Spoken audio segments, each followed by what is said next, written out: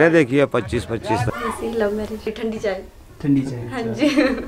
भाग की शादी करी आपने। मेले त्योहारों में तीज त्योहारों में पसंद आ गया तो आप उठा के ले जा सकते थे। नमस्कार दोस्तों एक बार फिर से आप सभी का स्वागत है हमारे इस चैनल में। तो इस वीडियो में हम आपको किन्नौरी शादी के कल्चर के बारे में बताने का प्रयास करेंगे।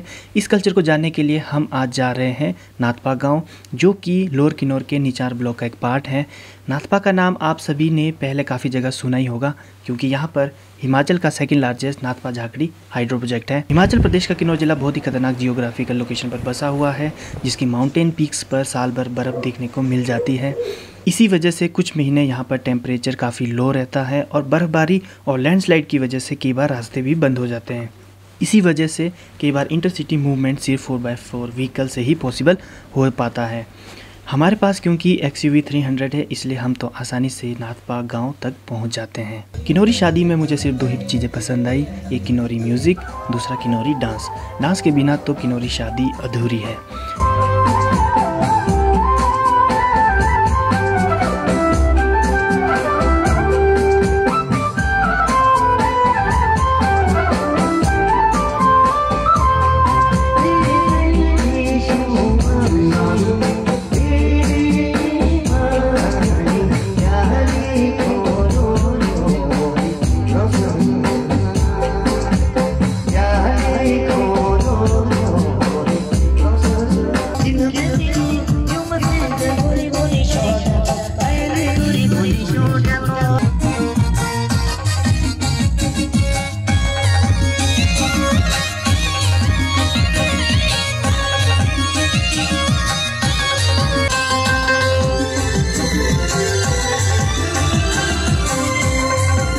किन्नौर में तीन तरह की शादी अक्सर देखने को मिल जाती है। छोटी शादी, बड़ी शादी और एक बूढ़ी शादी।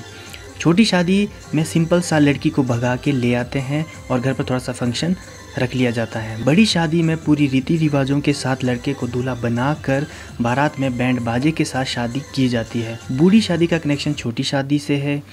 जिसने भगा के शादी की होती है, वो ज़िंदगी में कभी भी बड़ी शादी कर सकते हैं। बूढ़ी शादी के टाइम पर दुल्हन को वापस उसके मायके भेज दिया जाता है और वापस से लड़के को अच्छे से दूल्हा बनाकर बैंड बाजे के साथ वापस से पूरे रीति रिवाजों के साथ फिर से दुल्हन को उसी तरह से शादी करके वापस अपने घर लाया जाता है।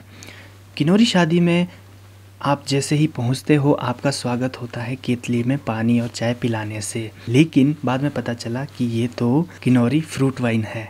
तो इस चीज़ से हमारा कोई संबंध ना होने की वजह से हम इसे वापस कर देते हैं। फाइनली वे, काफ़ी वेट करने के बाद चाय आ जाती है। आइए अब हम कुछ बुज़ुर्ग लोगों से भी किन्नौरी शादी के बारे में जानने का प्रयास करते हैं। जैसे घर में जितने भी बच्चे। बच्चे हैं हाँ जी हाँ जी। सिर्फ़ एक की ही शादी करवाते हैं बाकी नहीं दो की करा मतलब क्या हिसाब रहता है उसमें दो का? वो हिसाब क्या है कि अब दो तक बड़ी शादी करनी है भराव पुराव करना है लोगों ने उसके बाद लोगों की दूसरी तीसरी करेगा तो भी वो अपनी मर्ज़ी है कि चाहे लोग भरेंगे या ना भरेंगे या तो जैसे किन्नौर की शादियों में जो मेन डिश होती है वो मेन डिश बकरे ही करते हैं। बकरे ही होता है। तो लगभग मतलब क्या हिसाब रहता है? लगभग हिसाब मतलब देख करके होता है कि जैसे जनसंख्या जितने है कि या दो कुंटल लगना है तीन कुंटल लगना है माल। तो आपने कितना देखा है? मैक्सिमम कितना कटा होगा किसी टाइम पे या किसी जगह पे? तो हमने देखी है पच्चीस पच्चीस तक।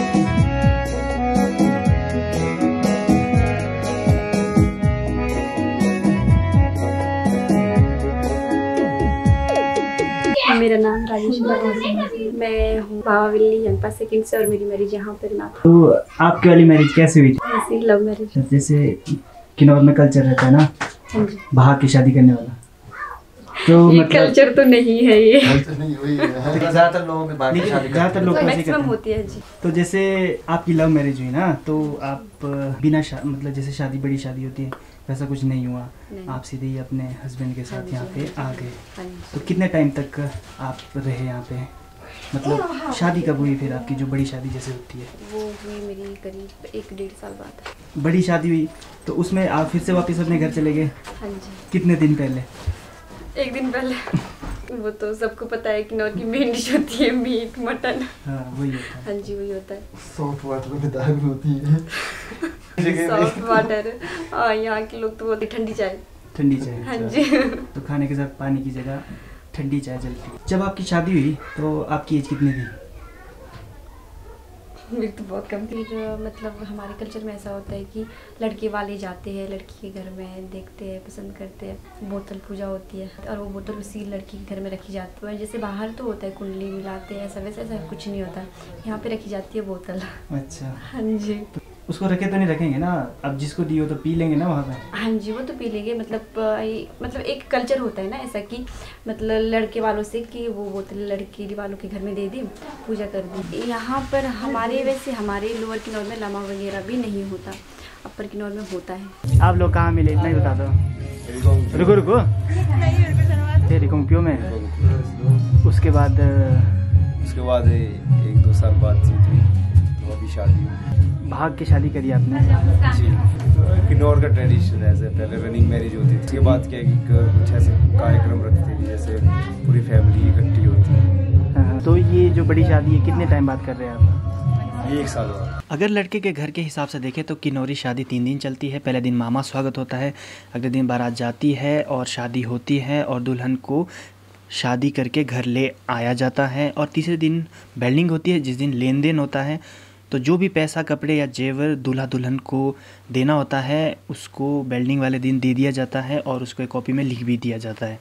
क्योंकि जिन जिन लोगों ने जो जो चीज़ें दी होती हैं, उन सभी चीज़ों को, उन लोगों को वापस भी करना होता है, जब उनके खुद के घर में भी फ़ंक्शन होगा तो। इंदौर में कॉमन मैरिज का भी कल्चर रहा है। पुराने ज़माने में भाइयों में प्यार मोहब्बत बनाए रखने के लिए बहुत से भाइयों की शादी एक ही लड़की से करा दी जाती थी। और उनके बच्चों को अलग अलग भाइयों के नाम से दर्ज करवा दिया जाता था। यह कल्चर अभी भी किन्नौर के काफ़ी हिस्सों में देखने को मिलता है, लेकिन आज का युवा एक ही लड़की से शादी करना ज़्यादा पसंद करता है।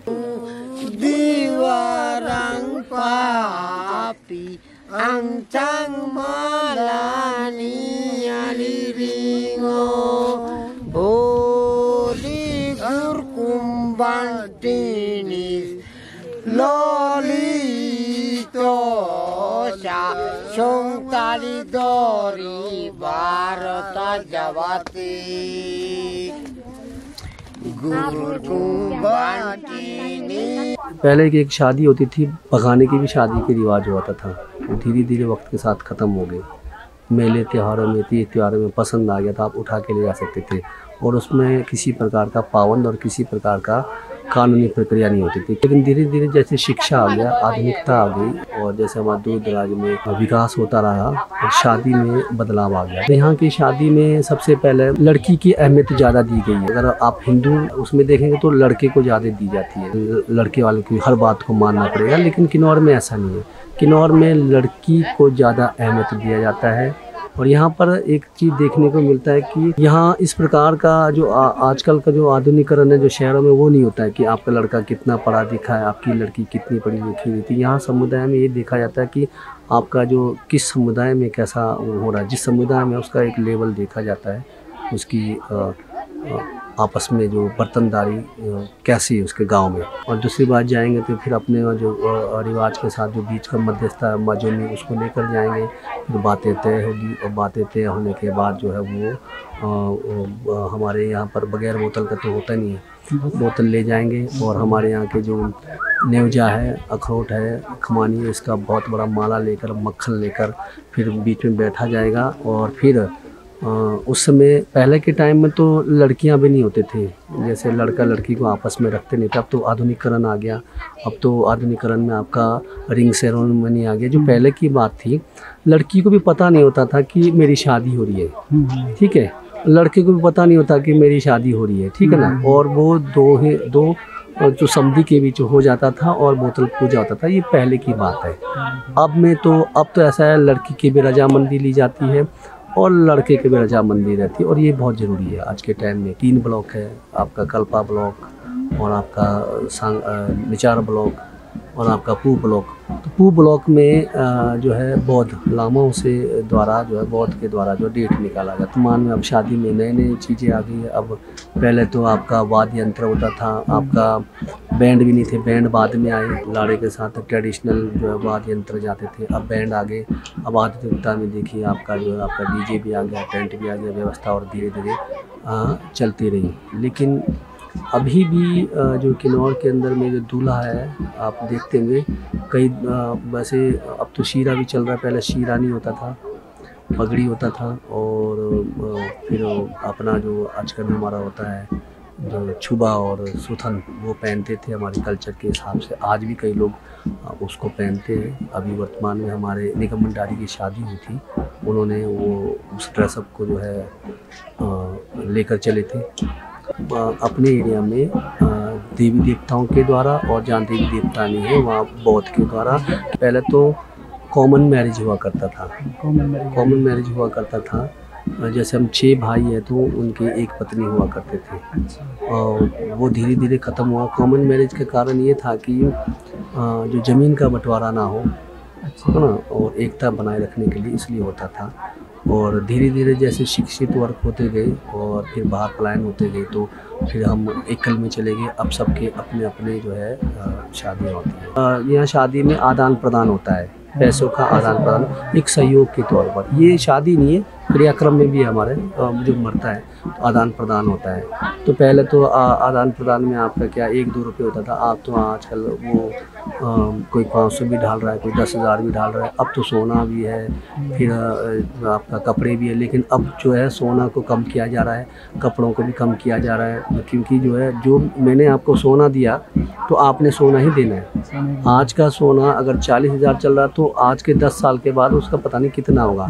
तो इसको देखते हुए जो बड़ी शादी में प्रतिबंध कर दिया गया है खासकर कि अब बड़ी शादी एक ही करा दो बाकी रिसेप्शन टाइप अच्छा आपने ज़िक्र किया है कि कॉमन मैरिज में जो बच्चे होते हैं उसको किस प्रकार से जो है डिवाइड करते हैं? जैसे छः बाप है तो कैसा है? अ, ये बहुत टफ सवाल है और ये इस चीज़ पर जो है जो हमारे पूर्वजों ने बड़े अपने जो ईमानदारी को दिखाते हुए क्योंकि उन उसमें उनमें ईर्ष्या नहीं होता था, जलन नहीं होता था, सब एक होते थे।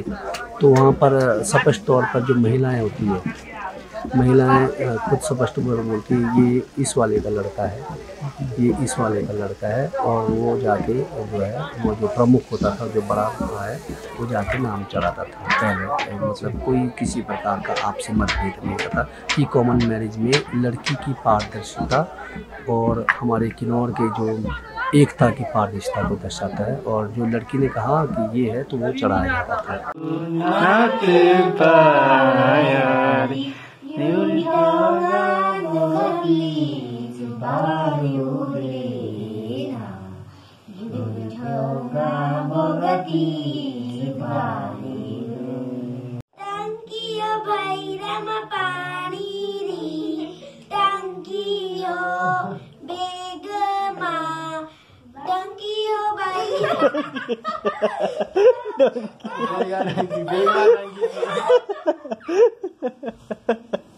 noite pra amanhã.